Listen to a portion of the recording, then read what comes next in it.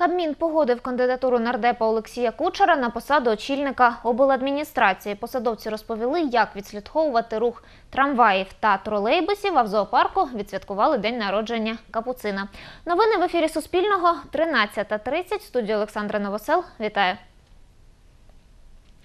Уряд погодив призначення Олексія Кучера на посаду голови обладміністрації. Рішення Кабінет міністрів ухвалив у неділю, 20 жовтня.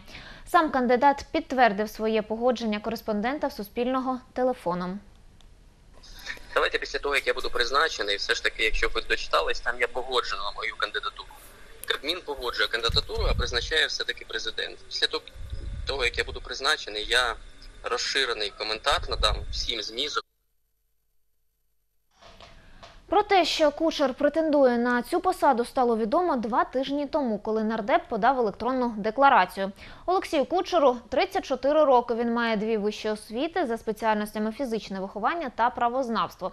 П'ять років працював помічником судді Шевченківського райсуду. Останні вісім працював адвокатом. Кучер переміг на позачергових парламентських виборах по мажоритарному округу номер 179 на Харківщині. Доходів за рік у декларації Кучера немає, тільки заощадження, біткоїни на суму майже у 300 тисяч доларів, 87 тисяч доларів готівкою, 205 тисяч доларів вказала у декларацію його дружина Вікторія Кучер.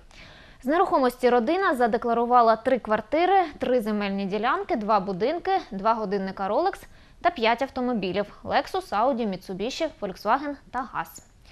Обов'язки голови адміністрації зараз продовжує виконувати Юлія Світлична. За декларацією, яку вона подала 9 жовтня, Світлична претендує на посаду заступника, заступника секретаря Ради національної безпеки та оборони. Чому Юлія Світлична хоче працювати в РНБО, коментувати вона відмовляється до ухвалення остаточного рішення.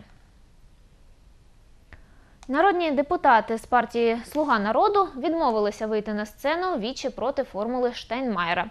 Акція відбулася напередодні біля намету Все для перемоги. Зараз ви бачите, як проходив захід. Це продовження протестів ні капітуляції, сказав координатор акції Борис Рєдін. На неї запросили 14 депутатів, які в президентській партії представляють Харківщину. Відгукнулися Марія Мєзянцева, Олександр Бакумов та Юрій Здебський. За словами Мєзянцевої, вони прийшли не виступати з мікрофоном, а спілкуватися із людьми. Харків'яни передали депутатам звернення про те, що впроваджувати формулу Штайнмаєра недопустимо. Нас запросили на вічі Я запрошував. Ось.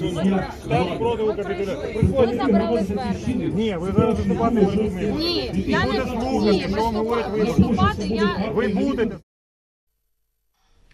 Нагадаємо, такі акції почалися в Україні 1 жовтня, коли президент Володимир Зеленський повідомив про намір затвердити формулу Штайнмаєра. Минулого тижня міська рада підтримала формулу Штайнмаєра та політику президента. У середу на сесії депутати ухвалили звернення до Володимира Зеленського, і закликали політиків в інших регіонах підтримати дії президента і не проводити акцій ні капітуляції. Проти погодження формули висловилися Львівська, Тернопільська, Івано-Франківська і Хмельницька обласні ради. Не підтримали її депутати в містах у Сумах, Кропивницькому та Луцьку.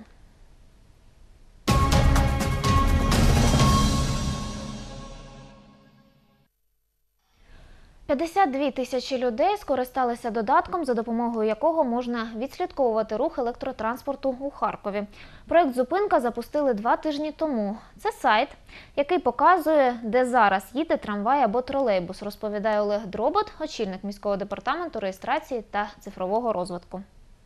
Харків'яни можуть е, е, бачити, де е, наразі перебуває той чи інший трамвай чи тролейбус, коли він доїде до відповідної зупинки, та саме як спланувати свій маршрут е, містом. Місто не витрачало бюджетні кошти на е, цей проект, і все, що повинно було зробити місто, це відкрити ці дані у відповідному форматі, щоб е, в режимі реального часу усі компанії, які надають відповідні картографічні сервіси, мог- могли використовувати ці дані.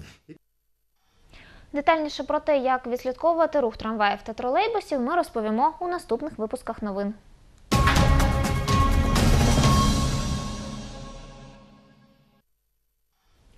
Бурий капуцин гномік з харківського зоопарку відзначив ювілей. Йому виповнилося 30 років. Народився гномік у пари капуцин, марсіоли та рема, розповіла речниця зоопарку Жанна Сивуха. Зараз у звіринці проживає 5 капуцинів, 3 самиці та 2 самця. Для ювіляра у зоопарку підготували ось таку фруктово-овочеву листівку у формі смокінгу. Виклали її з пекінської капусти, огірків, солодкого перцю. Латкани зробили з моркви. Краватку метелик з гарбуза та яєць. Увидев подарок, гномик первым делом... Побачивши подарунок, гномік спочатку скинув цифру 30, наче висловив протест проти свого віку. Адже він все ж таки привабливий, хоча 30 років для бурих капуцинів – це вже поважний вік. Але ці примати часто доживають до 45 років. І коли естетично нашого ювіляра усе влаштувало, гномік взявся за гостинці. Виноград, ківі, банан з'їв із великим задоволенням. Не забув і про краватку метелик із яйця. А коли розбиратися у компонентах стало нудно, він одним махом скинув смачну листівку, у черговий раз продемонстрував свій характер. Севуха характер, Сивуха говорить, до святкування ювілею доєдналися й інші мешканці зоопарку. Для них влаштували солодкий стіл з кавунами, грушами, яблуками та медом.